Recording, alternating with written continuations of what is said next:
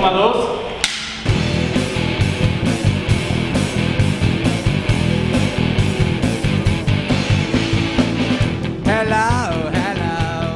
Fue un evento muy, muy padre, me divertí mucho, aprendí muchas cosas, audio, iluminación, multicámaras, trabajo en equipo, este, una muy buena experiencia de aprendizaje. Para mí no fue solo como una práctica más de las que tenemos de tarea en SAE, fue y es realmente una, una experiencia de trabajo real, las que se hacen afuera en el mundo real. Nuestra colaboración con los chavos de audio fue muy interesante porque nosotros aprendimos todo lo que hacen. Entonces, pues creo que todos pudimos aprender de todos. El proyecto de verano fue una muy buena experiencia y me va a servir mucho para cuando salga de aquí.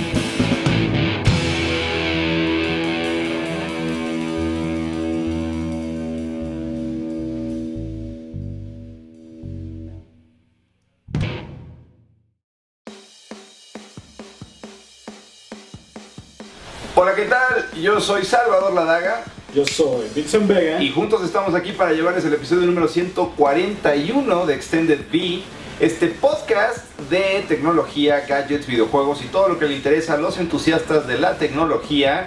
Recuerden que a mí me pueden seguir en Twitter en arroba salvadorlad. Ahí me pueden seguir en Vincent-Vega. Y recuerden que también tenemos una cuenta oficial del programa donde nos pueden escribir, preguntar lo que quieran, sugerir temas, eh, levantar polémicas y todo el trolling que ustedes deseen en arroba extendedv.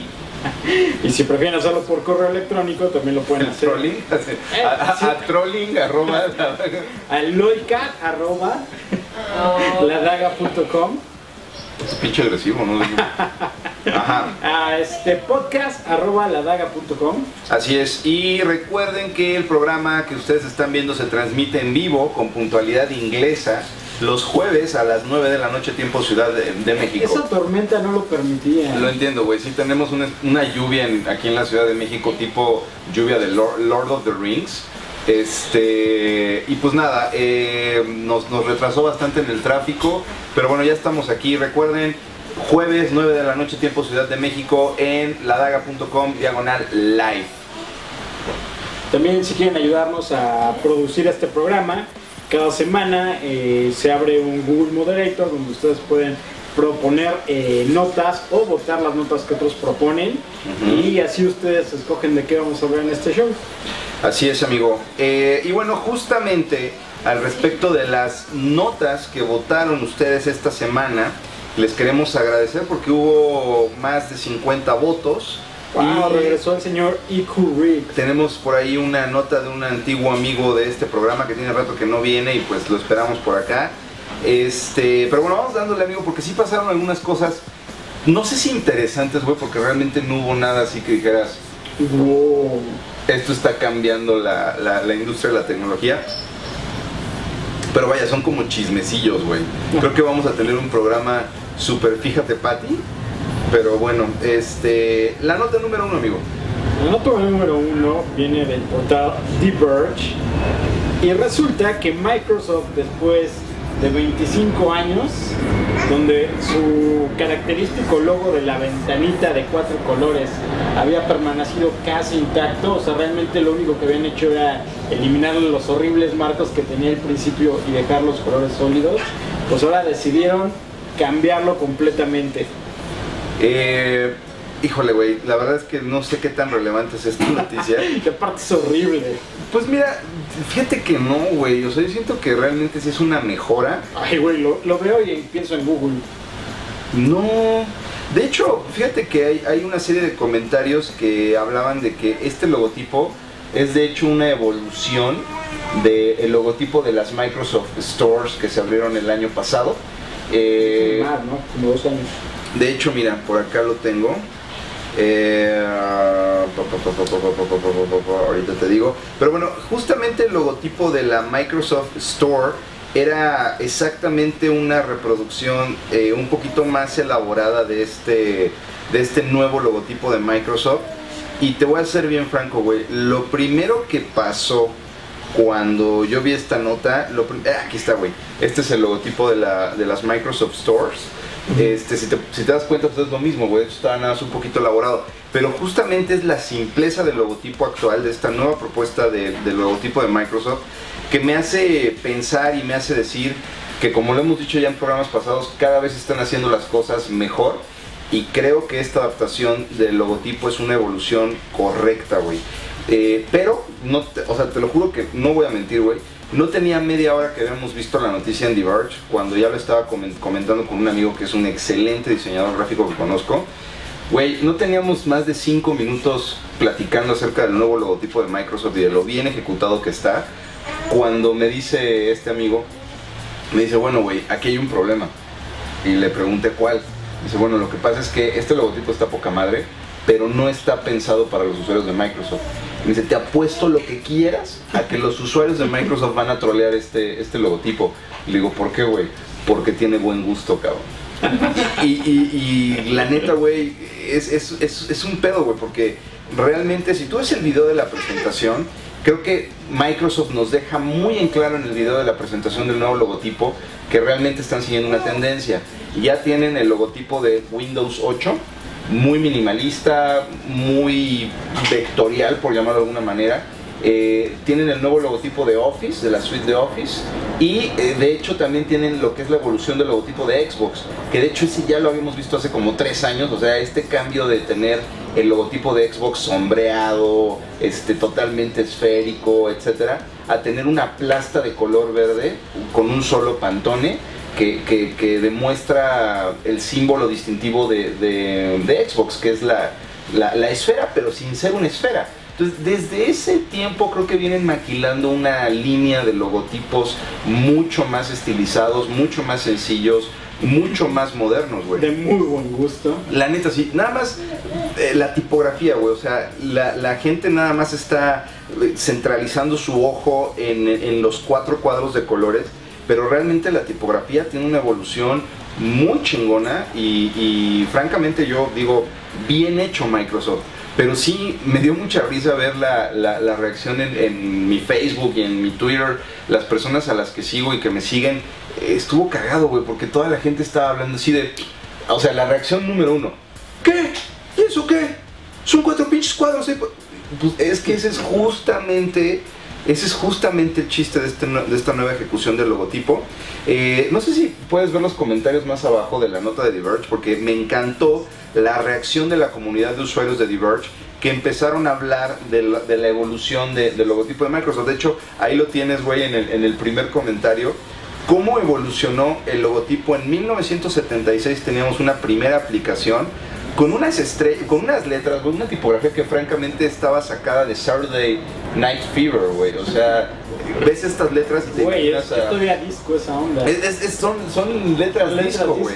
Y después, en el año de 1985, la tipografía de Microsoft representa, no representa a Microsoft, güey, representa a la década, güey. Representa a Miami Vice, representa a, a, a, a, este, Depeche Mode, representa, o sea, es una, es, es, es una tipografía Creo, creo que todas las empresas de tecnología usaban la misma tipografía. representa la década de los 80, güey.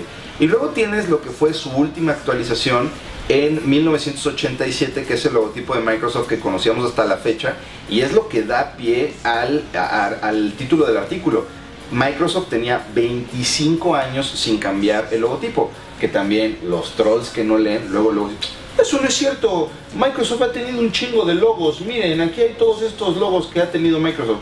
Por eso, güey, lo que está diciendo el artículo, si lees bien, lo que te está diciendo es que en 25 años no había ah, no había habido ningún cambio. Eh, más adelante, la comunidad de usuarios de Diverge también Está padre que ya no sea itálica, eso me, eso me gusta mucho. está chingón. Limpia mucho.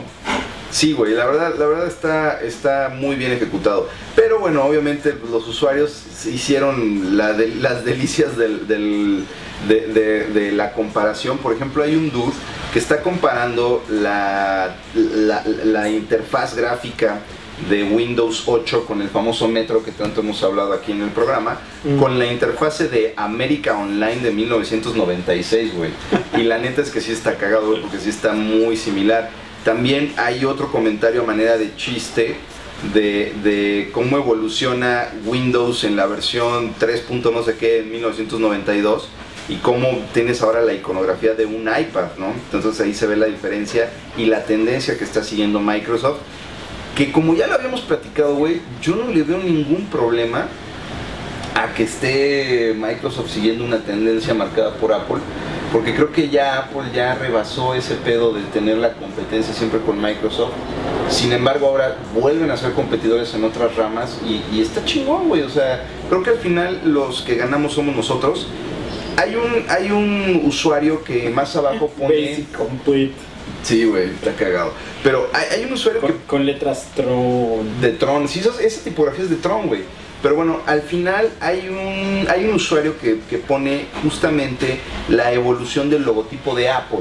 Y te das cuenta cómo la evolución del logotipo de Apple atravesó más o menos por los mismos cambios. Empezabas con un... El primer logotipo de Apple no tenía nada que ver con el actual. el Internet Explorer mejoró mucho, eh, la verdad. Es, es, güey, Internet Explorer, Office, Windows, este, de hecho también por ahí tienen otro logotipo de estos nuevos, de esta nueva línea de plastas de colores que están verdaderamente interesantes, güey. Yo personalmente aplaudo esta decisión de, de, De Microsoft. de Microsoft, creo que es una buena ejecución y pues creo que es de estas, de estas, de esta tendencia que hemos estado platicando tú y yo aquí en varios programas pasados de, de que Microsoft se está poniendo las pilas y está volviendo a hacer varias cosas bien. A mí me gusta, güey. Yo, yo quisiera dejarlo así con que a mí me gusta.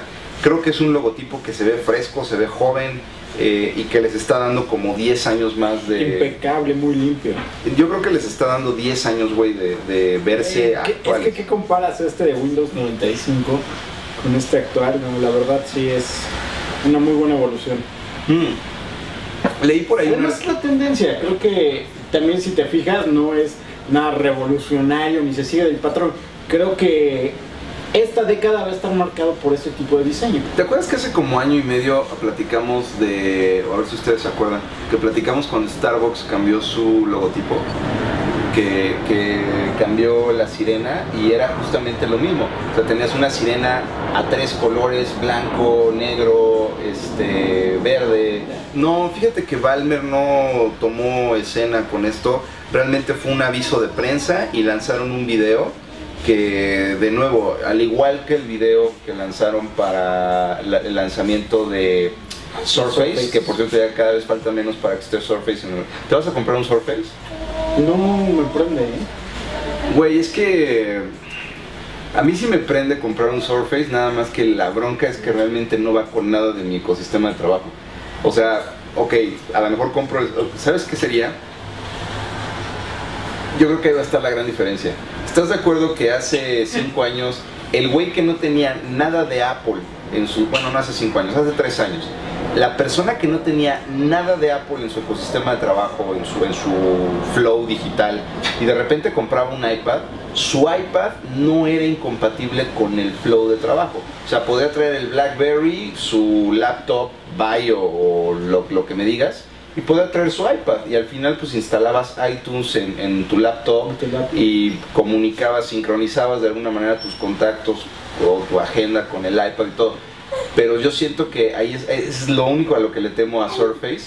Es de que si compro un Surface no va a ser compatible ni con mi laptop, ni con mi teléfono. No sé, güey. Pues a lo mejor estoy- no de primera instancia, pero yo creo que eh, si, algo han aprendido las empresas grandes como Microsoft y como Apple, es que la portabilidad de las herramientas con las que todo el mundo trabaja es muy importante para afianzar su plataforma. Entonces, eh, creo que Microsoft le va a dar mucha importancia a esta parte. Eh, a lo mejor se note una curva en lo que se estabiliza, pero yo creo que sí va a ser. ¿Estás de acuerdo? Que si hay curva, no es un éxito como lo fue el iPad.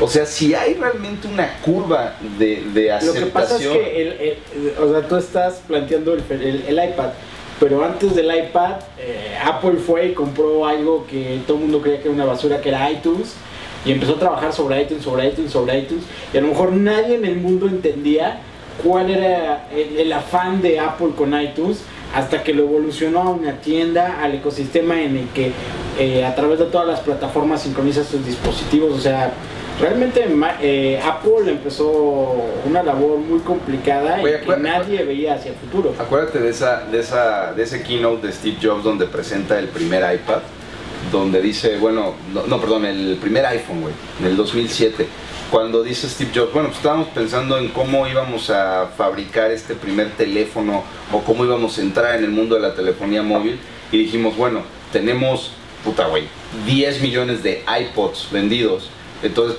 fue muy fácil saber de que habíamos, se, se oye muy feo, pero pues así fue, que habíamos entrenado a 10 millones de personas en cómo usar un iPod.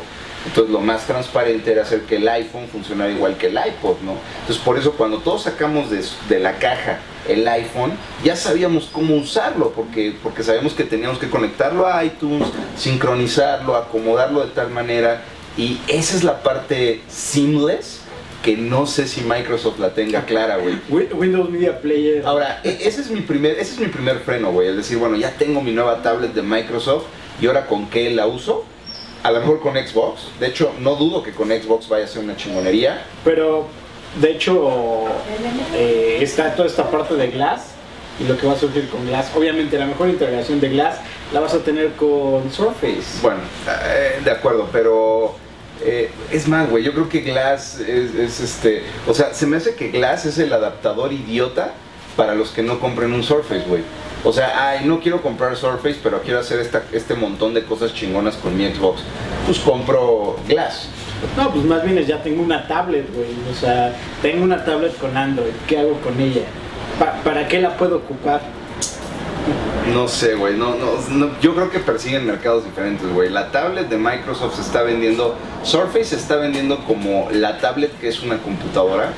Eh, que de hecho ahí voy con mi segundo freno. O sea, mi primer freno es la compatibilidad con mi ambiente digital. Y el segundo freno, güey, es de nuevo la realidad o el, o el reality check que vamos a tener todos cuando minimicemos Metro y nos encontremos con que el backend es Windows, güey. O sea, y es el Windows que conocemos con el botón de inicio, con los errores kernel garrafatales, con la administración de memoria bajo un sistema que no es Unix. Aunque la pantalla ya es diferente a la de error. Bueno, la pantalla de error es diferente, chingón, lo que me digas. Pero ese es mi segundo freno para correr a la tienda y decirle al güey del, te iba a decir del Windows Store, pero aquí no hay Windows Store, para llegar y decirle al güey de el Palacio de Hierro así de shut up and take my money.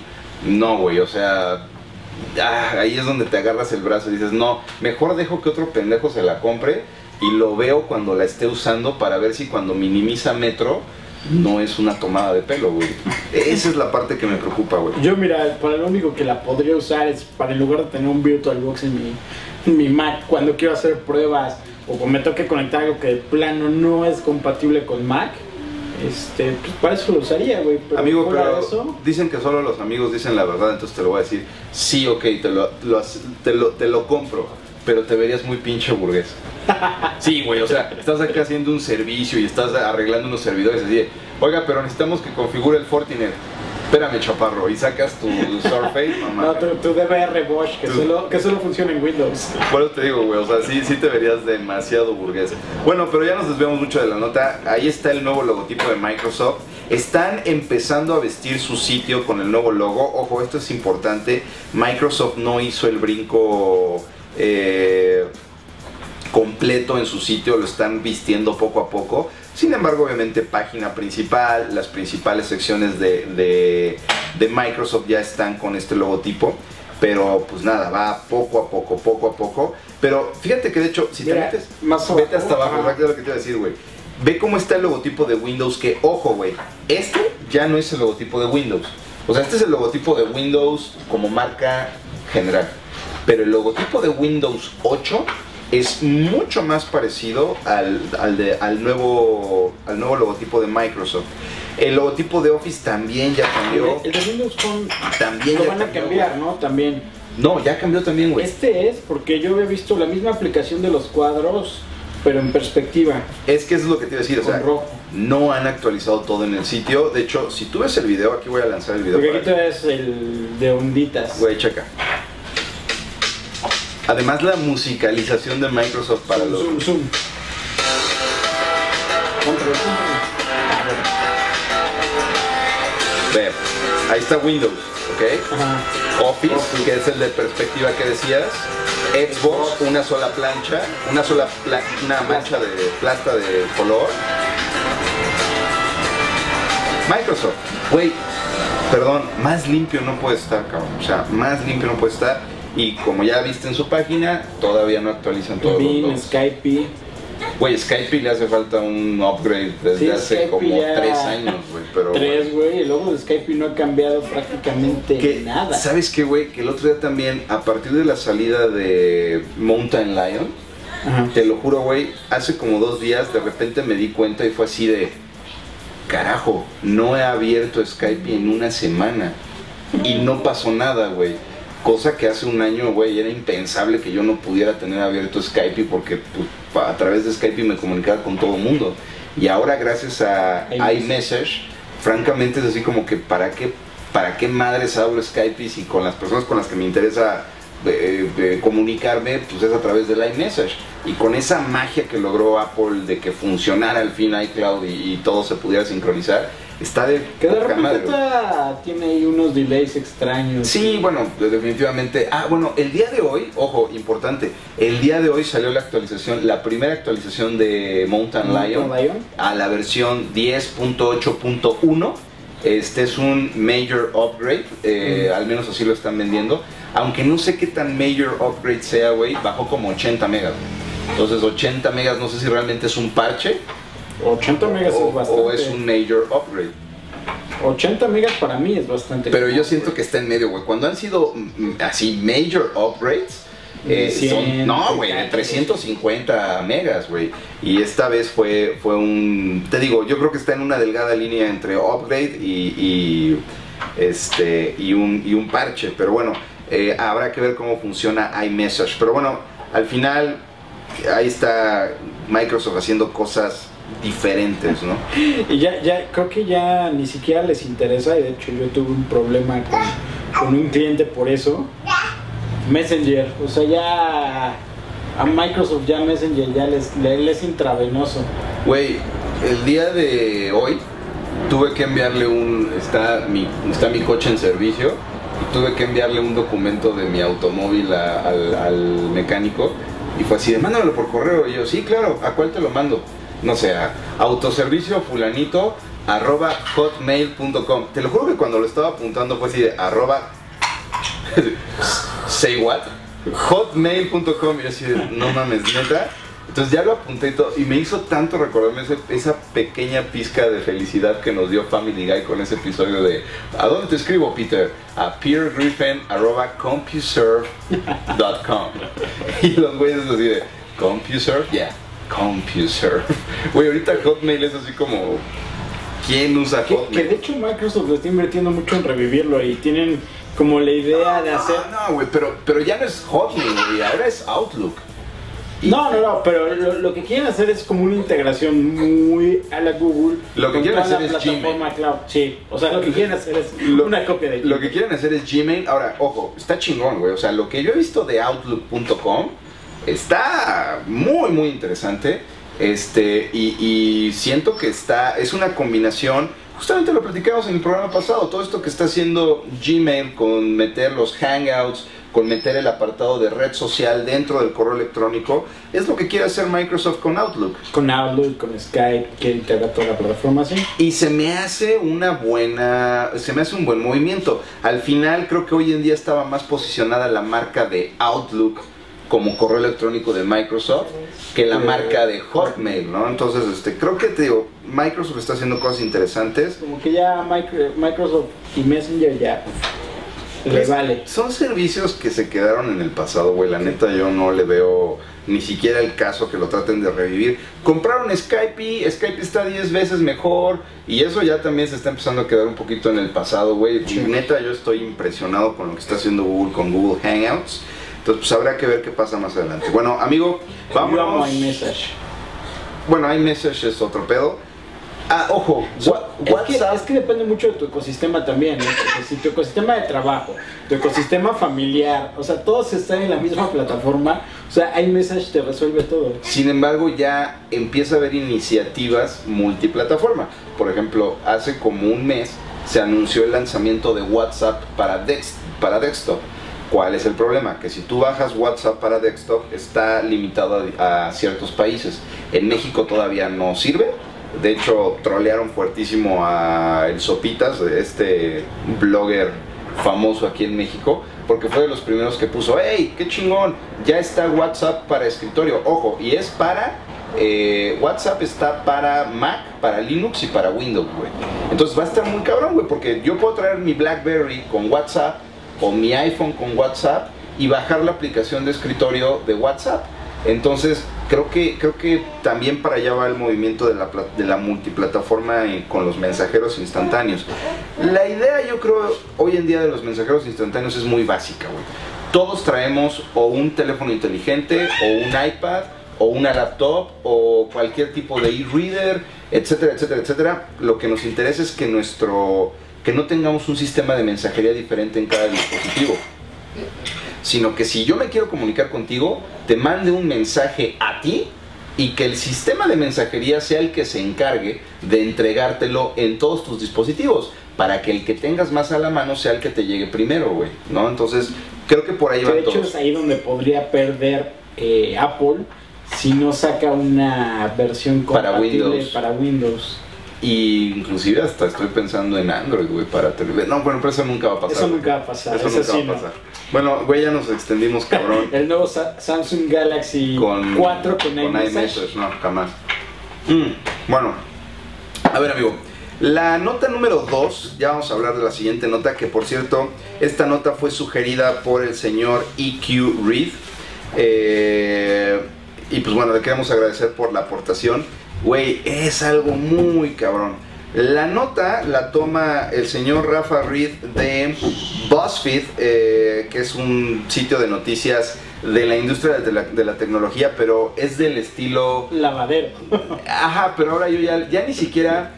Güey, ¿estás de acuerdo que hoy en día, y eso también está cabrón, güey? ¿Te acuerdas que hace dos años Gizmodo era una fuente respetable de, de- de información? Y ahorita hablar de, hablar de Pérez Hilton, hablar de Firewire y hablar de Gizmodo es lo mismo, güey. O sea, ya es así como que este sitio de internet hizo un Gizmodo. O sea, se convirtió, se convirtió en un sitio Fíjate Pati. Y pues bueno, justamente BuzzFeed, que es un sitio medio Fíjate Pati, eh, publica algo que pues sí llamó la atención en internet bastante. Eh, publican un artículo de una entrevista que le hacen a un ex colaborador de Google que eh, está eh, por interponer una demanda. Ahí te va. La, la, la demanda no. El artículo se titula Un Googler que vio lo peor de Internet. Ahí te va. Después de casi un año revisando el lado oscuro de Internet, incluyendo bestiality, necrofobia y pornografía infantil, este contratista de Google no ni siquiera fue contratado tiempo completo, güey. Ahí te va la historia. Pues resulta que es un cuate que trabajaba en política. Es un, es un ex estudiante, bueno, no, un egresado de Derecho de una universidad en Estados Unidos. Y el cuate empezó a trabajar para un despacho de consultoría legal eh, y política en Estados Unidos. Y resulta que se empieza a dedicar a la parte de social media de oficinas de políticos. Y le empieza a ir muy bien pues de repente es reclutado por la gente de headhunting de Google. Dice, oye, güey, tú eres un chingón con cuestiones de política y social media. ¿Por qué no trabajas para Google? Entonces este chavo fue así como que, órale, güey, o sea, me está reclutando una de las empresas más cabronas en, en- en tecnología, en reclutamiento. Todo mundo quiere trabajar en Google. Todo mundo hemos escuchado estas historias fascinantes de que en Google puedo tener a mi mascota al lado. No solo en Google, yo lo he visto. Bueno, hoy te tocó vivir una escena, una escena importante. Este, que, que, este, tienen una barra de comida increíble ahí en Google. eh, que- Las patinetas. Las patinetas, la, el, el- ¿cómo se llama? El, el- el esqueleto de un tiranosaurio Rex lleno de flamingos rosas que nadie entiende por qué. O sea, realmente hay tantas leyendas urbanas sobre el trabajar en Google y sobre lo chingón que es trabajar en Google que viene esta persona y dice, bueno, pues me está reclutando una de las empresas más chingonas, todo el mundo quiere trabajar en Google, pues yo voy a entrar a trabajar a Google. Entonces lo reclutan, lo empiezan a capacitar, lo mandan de viaje alrededor del mundo y el güey anda súper motivado y llega dos meses después al campus de, de, no es de Cupertino, perdón, perdón, llega al campus de, de ay, ¿dónde están estos güeyes? Eh, eh, Pasadena. Llega al campus de Pasadena y le dice así de, este, bueno, pues me puede decir dónde está mi oficina, dónde puedo poner a mi, a mi perro labrador y colgar mi bicicleta en la parte de arriba. No, tú vas a trabajar desde casa. Ah, bueno, ok, estoy abierto, soy open mind, gracias, me voy a mi casa a trabajar, pero sigo trabajando para Google. ¿Qué voy a hacer? Ah, te lo enviamos por correo, vete a tu casa y allá te va a llegar tu chamba. Ah, ok, gracias. Llega a su casa y pues resulta ser que su trabajo es ser un sensor de todo aquello que viole las políticas de contenido prohibido en Google. Entonces el cuate empieza a trabajar un periodo de 8 a 12 horas diarias viendo lo peor de internet, güey. O sea, el güey realmente estaba dedicado a descubrir contenido de este tipo que te dije, güey. O sea, estamos hablando de bestiality, shit lovers, este, necrofobia, eh, racismo, eh, eh, todas las porquerías que se puedan imaginar. De hecho, él en la entrevista habla sobre que lo que más le afectó, y porque de hecho ahora el güey está en terapia, eh, que de hecho hay unas facturas de Google donde, bueno, no, sí, sí, o sea, tiene el cuate como evidencia las primeras, las primeras tres sesiones de terapia con la especialista que el gobierno sugirió, porque el gobierno sugirió que ese puesto debería tener una terapeuta que tuviera algo que ver con, con el gobierno Google se vio forzado a pagar las tres primeras facturas de su terapia y después fue así, ahora te las pagas tú, chaparro. Entonces, eh, eh, eh, hay una verdadera polémica que se genera alrededor de todo esto porque fue así, pues que, Google no era el lugar favorito para trabajar de todo el mundo, que Google no es la empresa súper transparente y todo. Es feliz en Google. Ahora, Google no ha hecho declaraciones, obviamente, pero hay otros ex Googlers que se han metido en la nota y en el artículo y te dicen, bueno, güey, o sea, la verdad es que estos puestos son necesarios. O sea, necesitamos en algún momento, si tenemos los robots de inteligencia artificial más cabrones, los algoritmos matemáticos los algoritmos matemáticos más cabrones para descubrir este tipo de información y eliminarla de los servidores, pero necesitamos tener con algunas cosas que están ya muy truqueadas y que necesitamos a un ser humano que realmente vea si, si realmente este, Billy Hit the Pony es un video de un niño pegándole a un pony o es otra cosa, ¿no? Entonces, este, pues este güey está ahorita en terapia, va a demandar a Google, sobre todo porque aquí ahí te va la, parte, bueno, todo está ojete, güey, pero creo que esta ya es la cereza del pastel.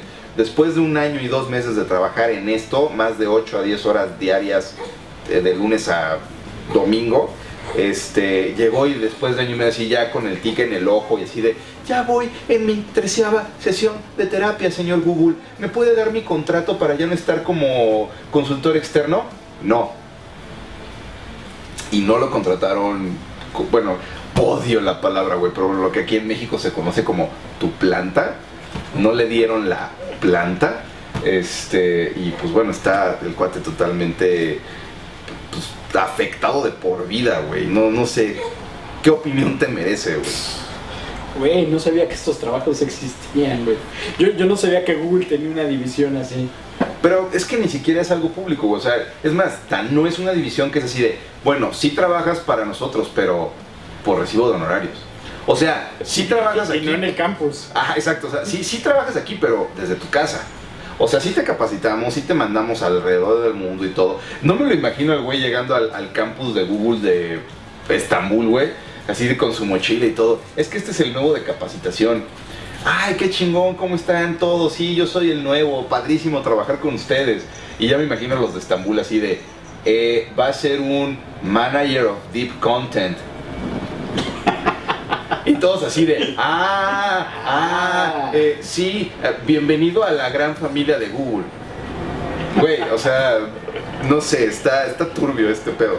Pero bueno, al final está turbio, pero creo que los otros Googlers también tienen un punto, güey. Necesitan un ser humano que al final sea un filtro final, final, final, final que les diga, a ver, güey, esto de spank, spank your mother no es sobre un... Más que le vi como muy rosita la patita. Ah, que "¿Y se- ¿Qué le pasó? Se está limpiando las, los colchoncitos. Este. O sea, este, este video que se llama Spank My Mother no, no es alguien, no es un video chistoso de alguien que le pegó accidentalmente a su mamá, ¿no? O sea, no sé, güey, sí está cabrón. Ahora, eh, pero yo creo que sí es un tipo de puesto en que no vas a estar 8 a 10 horas, 7 días a la semana. O sea, creo que más bien está mal diseñado el tipo, Claro. de, el, el- el tipo de enfoque que le dieron al trabajo. A lo mejor menos horas, más espaciado, no sé. O sea, creo que sí realmente afectaron psicológicamente a este ¿Y le individuo. pagaban bien? ¿cómo? ¿Le pagaban bien? Pues justamente no tocan nada sobre el tema de si le pagaron o no le pagaron bien en el artículo, cosa que me hace pensar que sí le pagaron bien, porque si no le hubieran pagado bien sería, Sería otra lo primero que reclamaría. y sería otra del, otro de los argumentos negativos dentro de la entrevista, ¿no? Pero pues para que se fijen que hay trabajo, o sea, piensan que su trabajo eh, eh, Más bien, yo te lo pondría, ¿harías cualquier cosa por dinero? no, pues no, sí está cabrón, güey. o sea, ¿Aceptarías cualquier trabajo por dinero? Sí, güey, así. O sea, imagínate Steve Ballmer así de pornography, pornography, pornography, ¿no? O necrofilia, necrofilia, necrofilia. Pero, pues es Ballmer, güey. No, me refiero a que realmente si la nota hubiera sido de se encuentra una división secreta del ejército de Estados Unidos, hubiera sido como que, Ajá. who cares, man? O se encuentra una división este, culerísima del Pentágono, así de, obvio, güey, o sea, pero aquí es así, la empresa que se caracteriza por ser como que el recurso humano perfecto, Donde todos son felices. donde todos son felices, pues había un güey que no estaba nada feliz. Donde es, es- es Wonderland y de repente hubo un güey que no despertó ahí. Sí, o es Wonderland y el, el dueño de la casa te invita a dormir con él, güey, o sea, pero bueno. Chiste referencial para todos los que nacieron entre 1981 y 1985. Este. Ah, no, 80, 87. ¿No? No, pero digo, Michael Jackson, Neverland, te invito a dormir a mi casa, pero duermes conmigo. Ah. Bueno, este, pues ahí está la nota, amigo. Pues interesante, ¿eh? Quiero agradecerle a Iku Ruiz porque creo que la nota, güey, o sea, fue, fue de esas notas que la, la suben nuestros seguidores, la gente que nos hace favor de ver este programa. Lo veo en el Google Moderator, le doy clic y así como que, ah, ¿de qué chingados está hablando la nota? Google no sé qué, no sé qué, bla, bla, bla. El último año me la pasé viendo pornografía y ahí me clavé en la nota, hasta que la terminé de leer. Realmente es un caso bien, bien interesante. Pues nada, este, si ustedes están viendo necrofilia todo el día, cámbienle de canal. Este, amigo, No, seguro ya están dañaditos. ¿Cómo vamos de memoria? tienes cuatro minutos para hacer polémica sobre la siguiente nota, man. Pues no tengo idea de la siguiente nota. Ah, Bueno, como te decía, amigo, la siguiente nota la posteó tu servidor este, en el servidor de Google.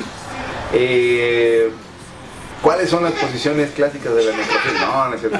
Este, amigo, pues como empezó Google esta tradición en el mes de febrero de este año, lo platicamos aquí en el programa, fue una de esas notas que, nos dio este, segundos y segundos de polémica, porque realmente no la comentamos mucho.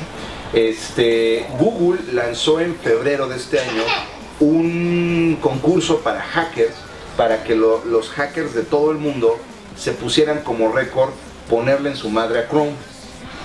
Así, de hecho, así se llama el, el concurso, ponerle en su madre a Ponle Chrome. su madre a Chrome. Este, entonces, bueno, eh, eh, eh, pues resulta que la convocatoria fue tal para este primer concurso que, por cierto, la premisa fuerte del concurso es que había un millón de dólares de, de premios para los hackers que pudieran este, encontrar bugs, encontrar eh, backdoors dentro de Chrome.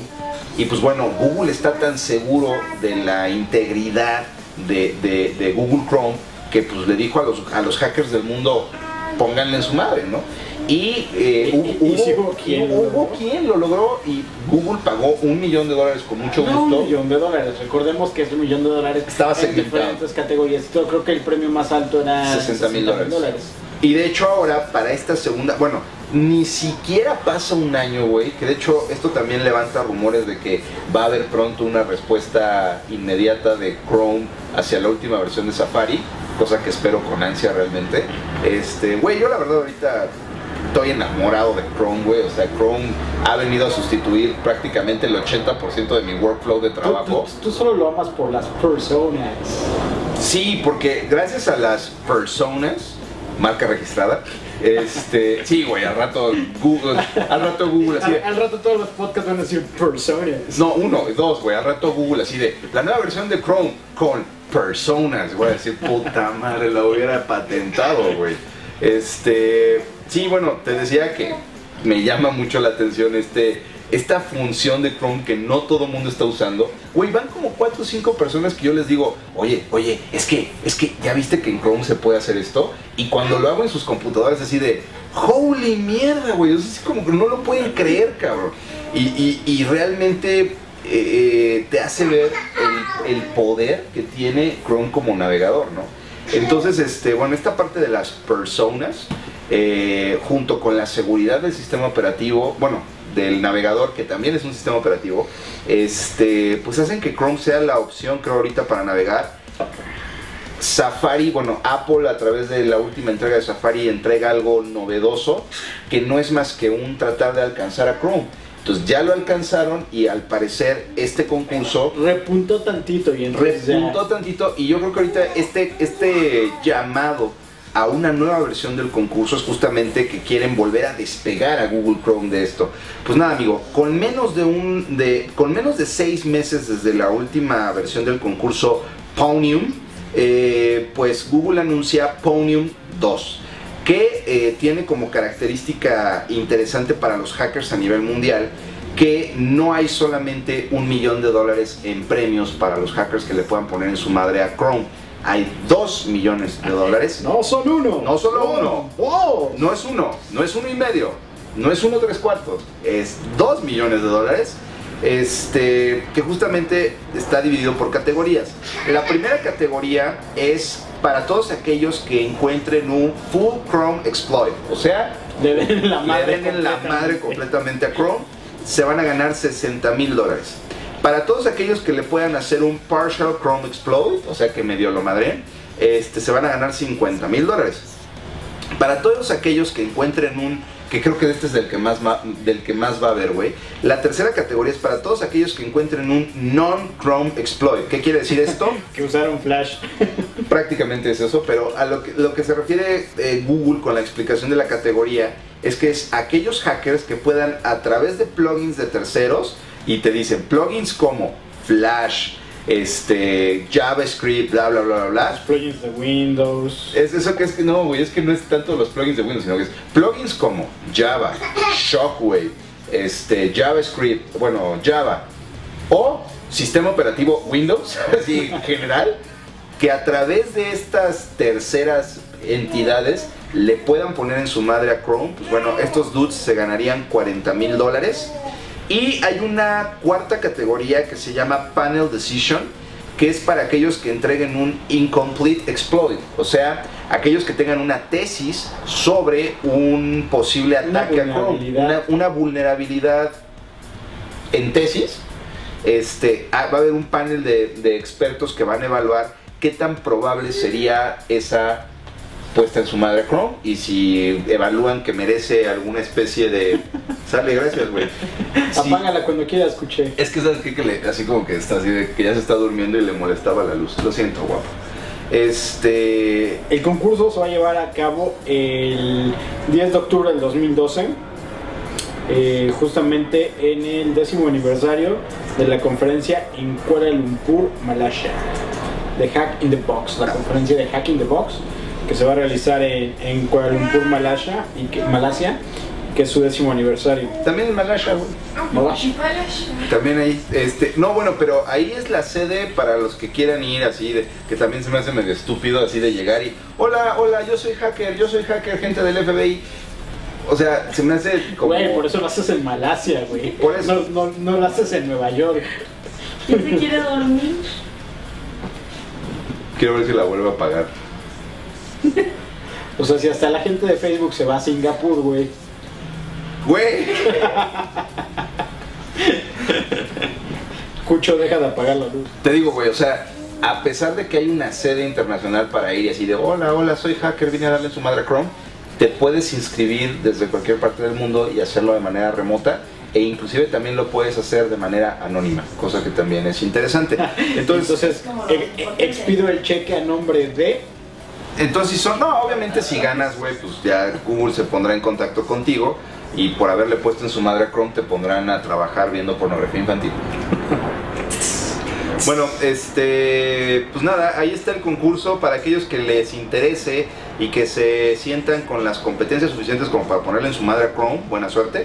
Este, pues el Ponium 2 lo podrán eh, consultar en el blog oficial de Chromium, que está en Blogger, es blog.chromium.org. Recuerden que todas las notas de la, todas las ligas de las notas que hablamos aquí en el programa las pueden consultar en nuestro sitio ladaga.com. Amigo, vámonos con la siguiente nota que no, no, no, no, güey, este, ¿qué se cayó? ¿Se cayó? ¿Sí? Puta. ¿Y tú no?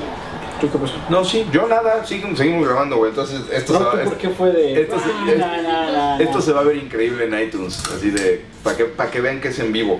Este, ah, no, porque la siguiente nota es así como que, güey, horrible, horrible, horrible. ¿Sufres? Bastante. Mm. Ahí nos avisas, Chaparro. Ya, ya estás. Ah, bueno, les decía, la siguiente nota es una de las notas más tristes que se han publicado en el universo gamer y geek. Este, pues nada, empiezas a decir gamer. gamer. Si, lo- si lo alargas, así como que dije. Sí, perdón, ¿qué no, no, no. No, esas son, esas esas son otras notas en otro podcast, no. Este, amigo, pues nada, Joystick eh, es uno de los primeros portales en anunciar algo que después invadió la red por completo. Pero antes de decir el título de la nota, quisiera recordarles a todos y que, y que pongan en contexto algo cuando hacían los unboxings. Güey, yo recuerdo mucho aquella Navidad donde eh, yo y mi familia pasábamos las navidades en, en la casa de mis abuelos en Tampico, Tamaulipas y puta, era, era horrible porque, bueno, no, era muy bonita la navidad allá, pero era horrible, era horrible que, este, oye, pero se supone que Santa Claus me iba a traer un Nintendo. Ah, sí, te está esperando en la casa de México cuando regresemos de las vacaciones y todo así de puta. Entonces, hasta que no pasaba la Navidad y no pasaban todas las fiestas y regresábamos a casa, era cuando yo podía hacer el unboxing de. Así fue como fue con mi Nintendo, con mi Super Nintendo, con mi este, PlayStation, güey. Eh, entonces, ¿Tuviste el tapetito del NES? a huevo. Pero bueno, ahí te va. Recuerden por favor todos ustedes 1986, 1987, eh, para los que sus papás iban a falluquear, porque realmente a los que lo compraron en una tienda departamental aquí Ya en México en el 89, güey. Eh, Recuerden ese primer Nintendo Entertainment System con su pistola de color naranja. Algunos de ustedes cuyos papás iban a falluquear al extranjero tenían la pistola gris y no estoy augurando a nadie. Este, güey, acuérdate de esa vez cuando viste por primera esa pinche caja que además era gigante, güey. Era muy O sea, era una caja de este tamaño, la abrías, eh, sacabas, o sea, le quitabas el celofán, abrías la caja de cartón, Sacabas el unicel de doble capa. sacabas dos uniceles de doble capa, casi casi tenías un aerosol, así, sígale dando en la madre a la capa de ozono, ¿no? Ah, los ochentas, bueno, este... Donde la ecología no importaba. No, sacabas todo y de repente te daba ese increíble olor, como lo definió Bart Simpson en algún momento. Hermano, este es el material con el que se hacen los sueños. O sea, ese olor de una consola de videojuegos nueva, ese olor de un gadget nuevo que tenía tu primera consola de Nintendo, el Super Nintendo, el Genesis, bla, bla, bla. Sacabas la consola, güey, y sacabas todo, güey. Ya te urgía meter el primer cartucho y ponerte a jugar Mario o lo que fuera Venía con Mario y con Duck. con Dot Hunt. Entonces conectabas el Nintendo al, al- al aparato televisor, eh, lo conectabas al, al cable Coaxial. coaxial, güey. Eh, eh, metías el primer cartucho, ah, le soplabas, güey. Ya que le terminabas de soplar, lo metías, prendías el, el- y, y aparecía, ¿no? Nintendo. Bueno, ese momento era soberbio y todo, empezabas a jugar y todo. Y como media hora después, ya que tu mamá así como que, ah, sí está padrísimo, güey, pero empieza a guardar todo este desmadre. Y tú así como que, ay, tengo que guardar la caja, el unicel. ¿Y te acordabas? ¿Te acordabas? Que venían manuales, papelitos, instructivos y todo. Y ahí era donde venía la añoranza de todos aquellos que nacimos en un momento de la historia donde no existía el Tratado de Libre Comercio en México. Entonces todo lo que era Estados Unidos era así como que, ah, quiero unos calzones Fruit of the Loom con unos chocolates Butterfinger. Güey, era lo máximo, cabrón. Bueno, ¿Ni has comido un Butterfinger? Ay, los venden, ahorita los venden en el Oxxo y creo que ya hasta son chafas. Pero bueno, en aquel momento era así como que, puta, traer unos calzones Los Loom. amarillos largos. Güey, güey, güey. y- Güey, y comerte un. Es más, güey, era así como que, güey, puedo comprar un Three Musketeers. O sea, era así, wow, cabrón. Bueno, Un Twix, un Milky perdón, perdón que haga todo este contexto, güey, pero es que. Nerds. Es unos nerds güey, que ahora ya los venden en cualquier pinche rancho. Ahora, este, ahí te va, güey. ¿Por qué estoy haciendo todo este contexto? Porque es justamente en este contexto de añoranza de esa época Porque extraño los ochentas. donde, donde tú volteabas y decías, ¿qué es todo esto? Y descubrías que por haber comprado tu consola de Nintendo, Pero la onda cambió y ahora hubiera- está en onda. Espérame. Pero si hubieras comprado tu consola de Nintendo y hubieras tenido la suerte de haber nacido del otro lado del charco, nada más por haber comprado tu consola de Nintendo podías agarrar tu cupón de, y aquí es donde viene, Nintendo Power y mandarlo por correspondencia y recibir gratis la revista Nintendo Power que aquí en México ni siquiera existía, güey. Muchos corrimos, y aquí es donde ya me voy a proyectar de lo viejo que estoy, güey. Muchos corrimos a ese cua- cuando llegó por primera vez dos revistas, güey. Game Pro y, Nintendo Power, güey. O sea, era como que la, la revista que a los niños gringos les regalaban nada más por ser gringos. Y que uno por ser región 4, güey, pues tenía que ir al Sanborns a gastarte tus 100 pesos en una revista que era Nintendo Power. Eso pasó con el Entertainment System. Luego cuando llegó el Super Nintendo pasaba lo mismo y te dabas cuenta que Nintendo Power ahí seguía. Y bueno, hasta recientemente con los que han comprado su Wii o compran un videojuego, viene ahí todavía la suscripción para Nintendo Power, que es esta revista gringa de acompañamiento de las consolas de Nintendo. Pues bueno, la noticia es que Nintendo Power llega a su fin.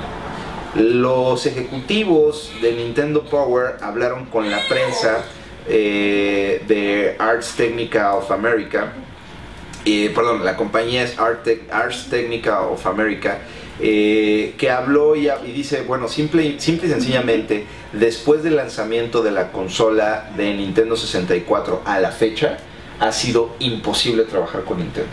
Ellos lo que argumentan es de que la- la organización, la estructura y la importancia editorial que le daba Nintendo a que existiera Nintendo Power como una revista de acompañamiento, cosa que jamás tuvo, por ejemplo, PlayStation, güey. O sea, existía un PlayStation Magazine, pero lo tenías que pagar. Espero que entiendan el contexto de Nintendo Power. Si ustedes eran chavitos y vivían en Estados Unidos y recibían su Super Nintendo, por haber comprado su Super Nintendo nada más mandaban por correo el cupón de Nintendo Power con el ticket de haber comprado la consola y les llegaba de por vida Nintendo Power. Estaba muy cabrón, güey. O sea, realmente creo que era uno de esos- una de esas cosas que, que estigmatizó a toda una generación de jugadores de Nintendo en Estados Unidos. Ni, ni la revista de exalumno me llega, güey. Ni la- ni- este, entonces, realmente creo que para la comunidad gamer, sobre todo en Estados Unidos, Pero obviamente. ah, es lo que te iba a decir, o sea, en México no lo resientes. Híjole, güey. ¿Cu- ¿Cuántos números realmente compraste en el Sambors, güey? No, te voy a ser franco. Yo creo que compré más Game Pro que Nintendo Power. Porque pasó algo, güey. Este, Y, híjole, aquí a lo mejor voy a hacer, voy a idealizar a Gus Rodríguez. Que, que eso está mal. Así de, que, que eso está mal. Ay. Niños, no intenten esto en casa. Idealizar a Gus Rodríguez no tiene nada bueno. Pero justamente, güey, creo que aquí en México el, Pero nos presentó Maggie Heggie. ese es el. Ay, qué bu- bueno. Este. No, ¿Nunca vieron el programa que tenían de Nintendo? Ya ni me acuerdo cómo se llamaba el programa, ¿te acuerdas?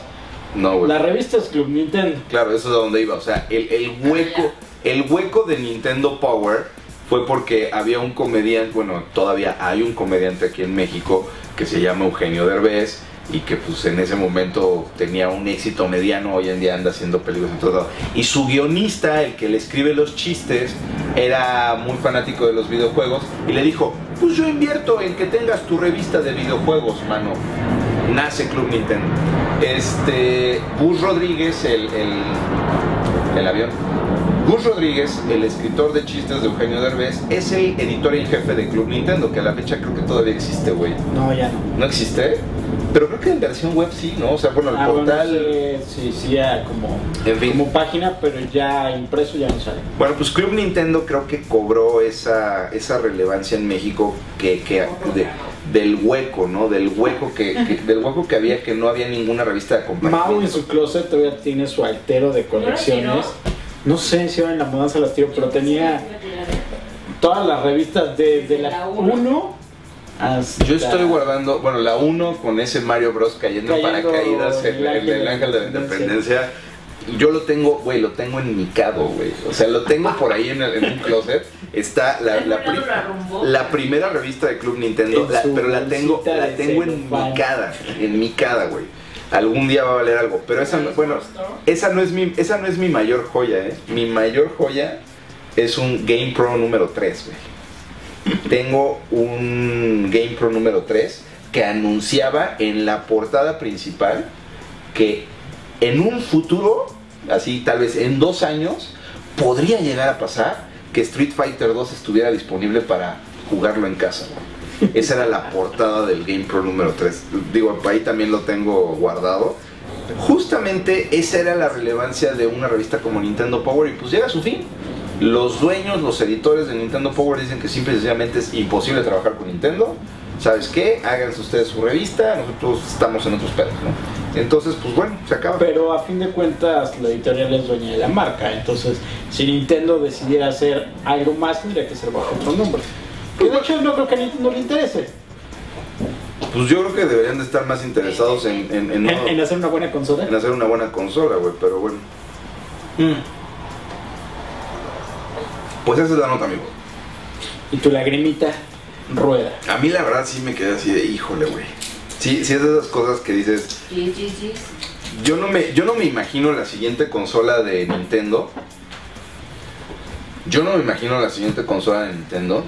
Sin ese panfletito. Yo no me imagino la siguiente no, porque de verdad no me la imagino. Pero, pero a lo que voy es, no me imagino la siguiente consola de Nintendo sacándola de su caja y todo, sin los pinches papeles de Nintendo Power que al final aquí en México tirabas a la basura, ¿no? Pero, pero, no sé, güey, creo que marcó época. En fin. La siguiente nota, amigo, ahora sí ya te toca a ti.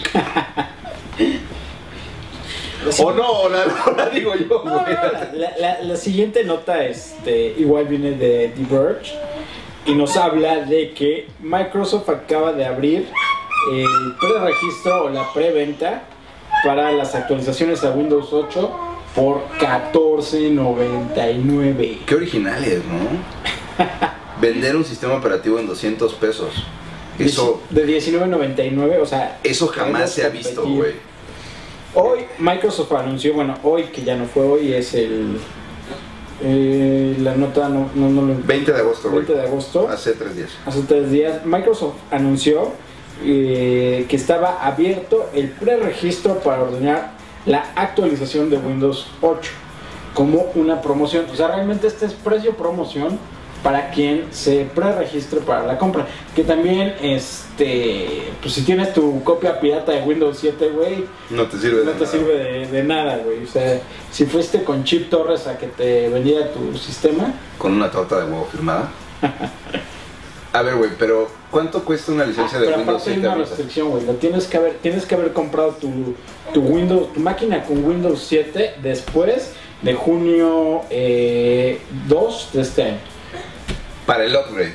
Para el upgrade. ¿Y cuánto va a costar el sistema operativo? Porque, a ver, es que también no nos perdamos en que, ay, pues Microsoft ya le está entrando a los madrazos con Apple, con las licencias. tal". No, güey. A ver, el sistema operativo completo, no upgrade, güey, completo de, de Apple cuesta 19 dólares. Y estos güeyes te están diciendo, bueno, 15 dólares el upgrade. Pero ¿cuánto va a costar la Y versión? eso, o sea, que incluso, por ejemplo, si lo llevamos al mundo Apple, Apple te dice, oye, si compraste tu equipo en este rango de fechas ya muy próximo al lanzamiento, regalo. es gratis. O sea, ni siquiera tienes que pagar nada, un upgrade. Ahora tú dijiste, la gente que tiene su Windows 7 pirata. Pon tú no, güey. La gente que tiene su Windows 7 comprado. ¿Cuánto invirtió en Windows 7? Pues el más barato, el, el, el starter en moneda nacional son como 800 pesos. Pero el starter es una basura. Si quieres ya algo decente es un Home Basic, 1500 pesitos. O sea, ya te gastaste 120 dólares en un sistema operativo ahorita le tienes que meter 15 más para el upgrade. Cuando con Apple, la última vez que te vendieron un sistema operativo físico fue Snow Leopard. Y entonces tú tienes tu Snow Leopard que te costó 300 pesos, o sea, 30 dólares. Y le has estado invirtiendo en upgrades, que realmente no son upgrades, güey. Es comprar el sistema operativo completo. Pero por 20 dólares. Entonces, híjole, no sé qué tanto esto es como un disfraz de marketing, así de, de verdad, así de, de verdad somos cool. ¿Qué no han visto nuestro nuevo logo? No, somos tan cool que vamos a dar un sistema operativo en 14 dólares. Que también eh, no está disponible en todos los países, solo está disponible en 140 países. Pueden Bueno, consultar. en- bueno. Nada más está disponible en 140 países, pinches idiotas. Ay, bueno, güey. O sea, Te son un chingo, güey. Sud- Sudáfrica, ¿cuál era el país que usaba todavía la mayor cantidad de Windows? Estaba en, en África, ¿no? Lo, lo, lo hablamos en una nota hace, hace poco. Eh, si quieren consultar la lista de países, la pueden encontrar en windowsupgradeoffer.com. No, pero bueno, mi trolling hacia ti era por el hecho de que, de que 140 países en términos de distribución es un chingo, güey. O sea, Sí, bueno, también, obviamente, esco- es- escogiste los países con mayor penetración. que te diré, güey, si ves la lista que está ahí donde, en la liga que tú nos acabas de decir, o sea, hay cosas así como Kuala Lumpur. Kuala Lumpur, güey, Magistro, ¿qué? ¿Qué? Ma- Magiar, Magiar. Luxem- ¿dónde está Magiar, güey? No, Magiar sí te fallo. Norteamérica, pues prácticamente todo Luxemburgo Estados sí, Unidos. Magiar no. Sudamérica, Argentina, Brasil, Chile, Colombia, Ecuador, Guyana Francesa, Perú, este, Uruguay, Venezuela. México sí está, supongo, en la Es- lista. está en Norteamérica, güey. Eh, Pero México sí está. mm, sí. Mm, sí, sí, sí, está junto con Puerto Rico, Trinidad y Tobago, Islas Caimán, México, Honduras. No sé, está bien rara su división de... Su regionalización. Sí, ¿de qué no Norteamérica nada más era Estados México, Unidos, Canadá y México? Pues están metiendo Honduras, Puerto Rico. Bueno, Puerto Rico te la compro, güey, pero... Pero Puerto Rico más. Ah, bueno, Unidos. las islas, güey, Bahamas, Bermuda, en fin, ok, se las compro. Este, por ejemplo, África, güey, va a estar disponible el upgrade. Híjole, iba a hacer un comentario muy feo, pero ¿qué no se supone que en, en algunas partes de estas de África no hay ni luz, güey? Por ejemplo, Angola, Kenia, Malawi, Nigeria. ¿Qué Nigeria no se están muriendo de hambre? Ruanda, ah, Mozambique, Senegal, Uganda, Cabo Verde, Ghana, Ruanda, bla, bla, bla. Bueno, en fin, no sé, no sé, güey, está... Está bueno el trolling, ¿eh? Si ves los comentarios, sí, sí, sí trolearon bastante la nota. Ojo, y es una nota de Diverge donde la comunidad de Diverge no se caracteriza por ser de las más troleras del mundo y sí están troleando cabrón el anuncio de, de- de Microsoft. Porque no sé si opinas igual que yo, güey, pero no se siente un anuncio original. O sea, no se siente, o sea, se siente como realmente una estrategia de marketing de, ah, somos Nosotros también. somos- nosotros también, este, somos bien cool. ¿Qué no han visto nuestro nuevo logo? Bueno, este, pues en fin, cabrón. Por cierto, quiero hacer un comentario de alguien que escribió en el chat hace rato. Ah, dice, el logo va con Windows 8, ¿no? Está inspirado en Metro, ¿no? No, no está inspirado en Metro. Microsoft completo se está basando ahorita en Metro, güey. ¿No es, ¿No es eso peligroso, güey? Que bases toda tu, to- toda tu empresa, todas tus divisiones en una interfaz. Está cabrón, Está cabrón. O sea, eh, el, el hardware más esperado de Microsoft, que es Surface, Metro, güey. El sistema operativo más cabrón esperado de Microsoft con Metro. Ah, Phone 8 también está bastante esperado. El sistema móvil que va a competir con Android, con iOS y todo, Metro, güey. Este, Xbox, la línea de negocios más exitosa de Microsoft. Pero ahí Metro ya lo tenemos desde hace un buen rato. Por eso, pues por ahí empezó, güey. Bueno, empezó con este Zoom. El creador de Zoom era el creador llevan a la este, línea Xbox. eh, el, el cabroncísimo, porque realmente ese güey es una pistola, el famosísimo Jay Aylard, que trabajó en Apple, por cierto, este, que es, el, es la única persona de Microsoft que, al que se le permite utilizar una laptop Apple. Este, bueno, el señor Jay Aylard, que se sale de Apple, se va a trabajar a Microsoft, crea el Xbox. O sea, a Jay Aylard, cuando, cuando, cuando, cuando Microsoft era Bill Gates y Steve Ballmer diciendo más Office, más Visual Basic, más Windows, Que Excel haga más que, que Excel haga más macros y todo, contratan así de, a ver, vamos a entrarle a esta onda así novedosa de chavos pelones cool y contratan a, o sea, se, se piratean a Jay Aylard de, de, De Apple. Apple a dos meses de que escogieran a Jay Aylard para, junto con este... Este se me fue el nombre de. Ah, ¿cómo se me pudo ir el nombre de- de- del diseñador industrial de Apple? Jonathan Ive. de Jonathan Ive para que junto con Jonathan Ive empezaran a trabajar en el proyecto de una pequeña cosa llamada iPod. Pues bueno, sacan a Jay Aylard, se lo llevan a Microsoft y dentro de Microsoft cuando Bill Gates estaba así de sí, más Office, más Visual Basic, más Internet Explorer, llega un squinkle nuevo a, Microsoft y dice, no, videojuegos. Y vamos a meterle todo a videojuegos. Entonces, bueno, Jay Aylard es el responsable de, de Xbox, que es un puto éxito. Después es el responsable de Zoom, que si bien no pegó de manera comercial, sentó las bases de Metro, güey. Pues realmente eh, el éxito de Zoom, de Zoom Fue la es, interfaz. este, la, la interfaz que le elevó a Microsoft. Así es, y pues bueno, a mí lo que se me hace... que ahora es la vida de Microsoft. O sea, Microsoft se juega la vida en esa interfaz. Así es, amigo. Pues bueno, pues ahí, ahí queda la nota. Este, creo que la comunidad de, de usuarios, bueno, la comunidad de trolls en específico, toma el anuncio como, una, como un anuncio poco auténtico. Es un anuncio de, ah, sí, nosotros también le entramos a la, a la onda de los sistemas operativos baratos, chavos. Cuando realmente no es así, güey, pero bueno. Vamos con la última nota, ya se nos acabó el programa, amigo. Vamos con la última nota eh, que habla sobre una infografía muy buena Un día en la vida de Twitter. del señor Twitter. De del pajarito. Un día en la vida del pajarito. horizonte. ¿Mandé? Y el horizonte del pajarito. No, eso ya pasó. Pues bueno, no te emputes. fue, tu, fue tu meme, no fue de nosotros. Pero ya se le iba a salir otra vez, ¿verdad? La infografía es de un día en la vida del pájaro. No, güey, es un día en la vida de Twitter.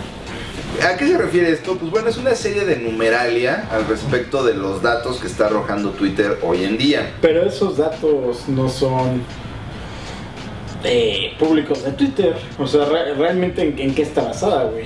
Pues mira, mientras tú dices los datos, yo busco en qué está basada, güey, porque sí está muy cagado lo que acabas Sí, porque Twitter no, no, no saca datos oficiales, entonces es curioso. ¿Cuántos, eh, bueno, a ver, aquí dicen Daibot, post- ah, no, usaron, usaron este, un bot, un bot, que analizó 750 mil ligas posteadas en Twitter eh, para eh, encontrar tendencias básicas. Entonces, la primera tendencia es que se comparte a través de Twitter. El 36% de lo que se comparte en Twitter son imágenes. Decías que ya hay promoted, promoted tweets Promoted aquí en tweets México. en México vimos en esta semana ya este la, ma- la marca más conocida de refrescos anunciándose en Twitter. Eh, entonces, este 8% no viene de esa parte del negocio comercial de Twitter, sino de usuarios que lo usan para anunciar sus productos. Después está la parte de front page con eh, 7%. Y los startups updates que eh, tienen un 7%. Y las páginas de error con un 7%. Después, eh, lo segundo es cuáles son los sitios más usados o que usamos en, dentro de Twitter. Para eh, hacer referencias. para hacer referencias. Primero, eh, con un 60% YouTube. Un alto margen, güey. O sea, realmente utilizamos Twitter para hacer referencias a videos de YouTube. Y Después- en segundo lugar, 15%, bueno, el 40% Twitter con TweetPix.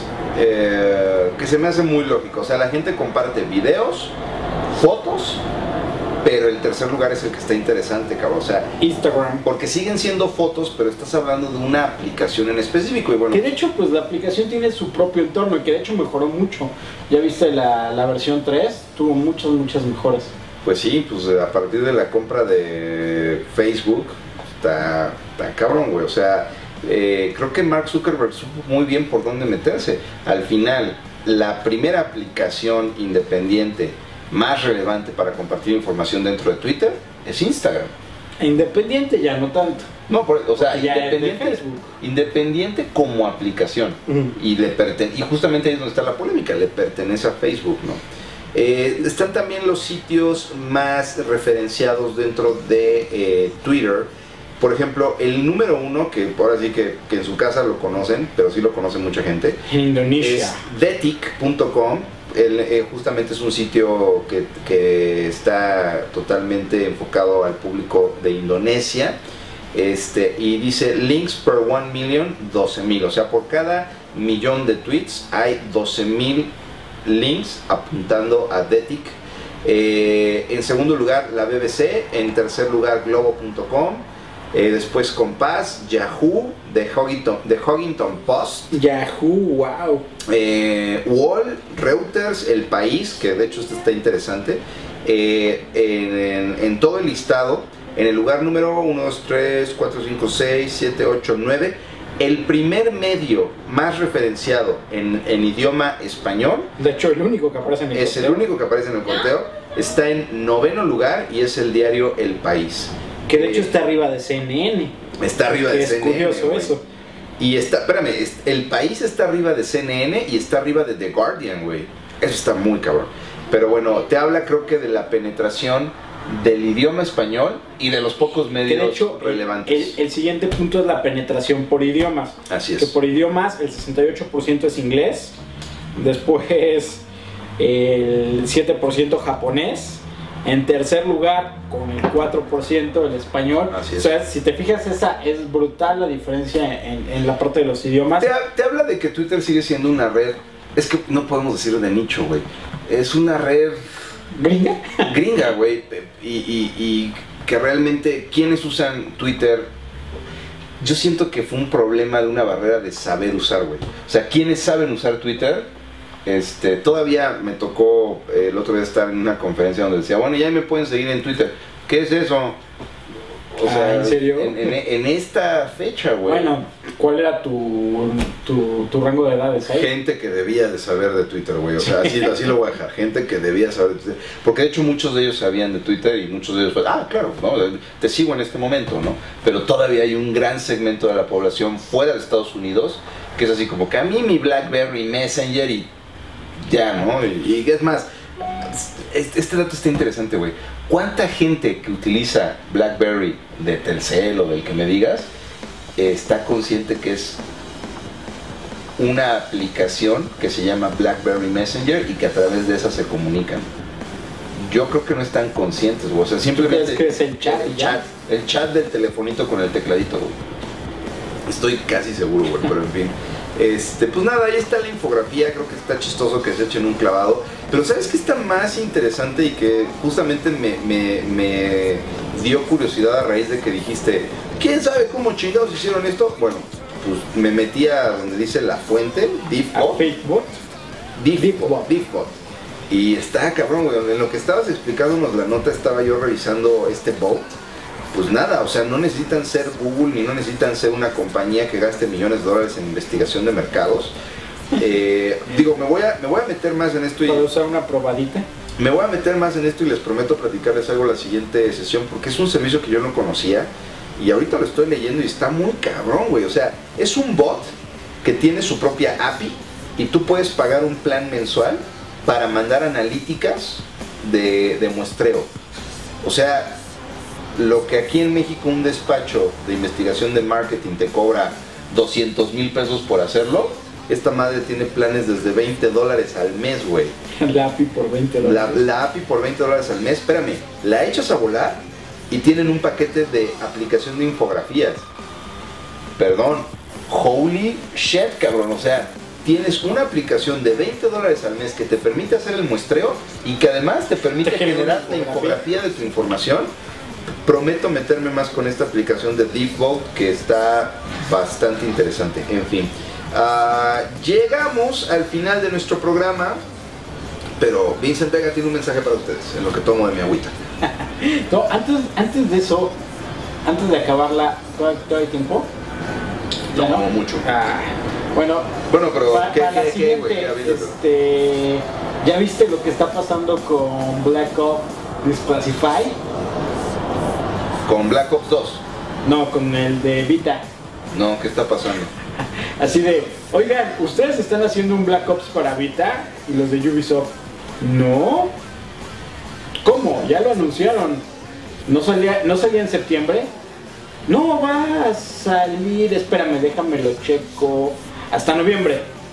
¿Y qué estudio lo está haciendo? Se les olvidó hacerlo. Ah, ah, métete, métete a IGN y checa, checa las notas. Pero ahorita eh, de repente como que Sony quiso impulsar mucho la plataforma de Vita con un juego como Black Ops. Pero les falló muy gacho. Y parece que lo tiene el mismo estudio que hizo este el de Burning Skies de. ¿Cómo se llama? Este. Ah, ¿cómo se llama este juego que te gusta? Que juegas en el Resistance. El Resistance Burning Sky, que la verdad es un muy mal shooter para Vita. Que no, pero aparte, la franquicia de Resistance para PS Vita no Se la tiene. dieron a Nils. De hecho, el, el juego de Resistance está este, programado por Insomniac, Insomniac Games, que son unas pistolas, güey. O sea, han hecho puro, puro madrazo para las consolas y toman la, la franquicia de Resistance, un, un despacho ahí. Pero, sí, se lo dieron a un, este, una pinche desarrolladora X. Güey, pero pasó exactamente lo mismo también con, con Uncharted para la parte de, de PS Vita. Que, o sea, no digo que esté malo el Uncharted para PS Vita, pero no es lo mismo que el Uncharted para consolas, güey. Sí, se nota mucho la diferencia. Así es. Entonces, lo mismo parece que está pasando con este con, con Call of Duty, Black Ops Disclassify. Este, de hecho, por ahí en, en- en la parte del blog oficial, el community manager de, de, de Ubisoft pues dice: Yo lo que he visto del juego es lo que todos ustedes han visto. El trailer que se presentó. Nada más. No, O bueno. sea, en Ubisoft no sabemos nada del juego. O sea, está bien feo eso. Sí, de hecho ya encontré el artículo que está en, IN en IGN. Vitas Call of Duty, Reasons to Worry. o sea, Ajá, Niche Listic se llama el estudio. O sea, imagínate. madres. Sí, efectivamente hablan de un email que manda PlayStation y que, y que Así de, ¿y el juego que me prometiste? y los amigos de Ubisoft le contestan el, el, el, el- el- el correo hablando de una serie de eventos que tenemos aquí. Así de, híjole, ha han pasado una serie de cosas aquí en Ubisoft Cha- Chaparro que pues no podemos garantizar el juego. Se, se- se nos olvidó que lo teníamos que hacer. Híjole, güey, sí está, sí está feo para PS Vita esto, ¿eh? Sí. Porque además se suma a la negativa de, de, de Konami de que no va a haber Metal Gear. Ah, también sí, ya, ya salió el Me- anuncio. No va, no va a haber Metal Gear. eh, Cuatro. no, no, no. ¿Cómo se llama? Este. Tiene, sí. Rising. Rising. No va a haber, no va a haber Metal Gear Solid Rising para PS Vita porque Por las resulta limitaciones de la, de la consola. no tanto de la consola, del poder de la consola. O sea, tanto el procesador gráfico como el procesador de datos de eh, la consola PS Vita podrían correr por medio de transferring o ahora llamado este eh, Parallel Play o cómo le llama Vita. Bueno, no me acuerdo, pero No por medio de esa plataforma donde tú puedes estar jugando el juego de consola en la consola y seguir el mismo nivel en tu PS Vita, sí se podría hacer. El PS Vita tiene las capacidades para hacerlo, pero el procesador, al momento de procesar o al momento de operar la inteligencia artificial que necesita Metal Gear Rising, se chinga la batería como en 15 minutos. güey. O sea, dicen que verdaderamente el poder de procesamiento hace que la batería se muera en 15 o minutos o menos. y, y que Sony dijo, no, güey, o sea, no me puedo arriesgar a menos de que Konami asegure un algoritmo matemático que no se chingue la batería tan rápido. Este, pues malas Muy malas, para muy malas, sobre todo porque se esperaba un buen cierre de año y que llegan a su meta de los 10 millones de consolas Está- y se ve difícil. Estábamos esperando Assa- Assassin's Creed, que ese sí iba a llegar. Assassin's Creed, Call of Duty, este, eh, Metal Gear y Resident Evil para, para PS Vita. Pero y Resident Evil no va para PS Vita. Tampoco, güey. Entonces, sí está existiendo una serie de, de cosas ahí feas para, para PS Vita. Por otro lado, tienes las perlas que están rescatando a PS Vita, como Sound Shapes, que tú estás Sound ahí muy metido. Que también, güey, a lo mejor lo que puede generar esto, güey, es que PS Vita no está recibiendo estos cañonazos de franquicias, pero sí está recibiendo juegos independientes chingones. SAE Institute. ¿Ya se fue? ¿No? Sí. Ah, para agradecer a nuestro patrocinador SAE Institute México, la escuela de ingeniería de audio más grande del mundo, que tiene su campus en la Ciudad de México, en la colonia Condesa, que tiene una oferta eh, educativa muy muy amplia como... Más. como ingeniería de audio, diseño de videojuegos, programación de videojuegos, animación digital y cine digital y postproducción. También tiene diplomados como Music Business, Introducción al Cine Digital, eh, Producción Web, Modelado de Animación 3D, Periodismo Digital, Postproducción y Cine Digital. Entre muchos otros, de hecho la oferta de educación continua tiene más de 20 opciones, más de 25 opciones diferentes para que ustedes puedan estudiar cursos, certificaciones, diplomados eh, relacionados con la industria de los medios creativos digitales. Eh, para más información eh, pueden visitar su página de internet en mexico.sae.edu. y recuerden que los cursos y las carreras inician en octubre, pues están a, están a tiempo de inscribirse, eh, aparten su lugar, sobre todo. Aparten su lugar porque hay carreras que se llenan. No, no, no puedo decir la, la información, así como que tengo, tengo, tengo veto de ese tipo de información para darla públicamente, pero les adelanto que ya hay eh, lista de espera de bastantes meses para varias eh, ofertas que hay ahí en el SAE. Este, ya hay gente que está llegando y, ah, shut up and take my money, quiero empezar mañana. Híjole, chaparro, te tienes que esperar mm, de 6 a 8 meses para empezar por una lista de espera. Muchas gracias por su preferencia. Pueden seguir en Twitter, ¿eh? Los pueden seguir en Twitter en arroba MéxicoSae. Se nos acabó el programa, amigo. Eh, muchas gracias por habernos visto. Los esperamos la siguiente semana en el programa 142. Recuerden sugerir y votar, vo- votar, no, votar sus notas en el moderator, en ladaga.com diagonal moderator. A mí me pueden seguir en Salvador, no, perdón, a mí me pueden seguir en Twitter en arroba Salvador Lab. Me pueden seguir en Ivinson-Vega. También me pueden seguir en Salvador, voy a hacer mi propia red social que Para que voten.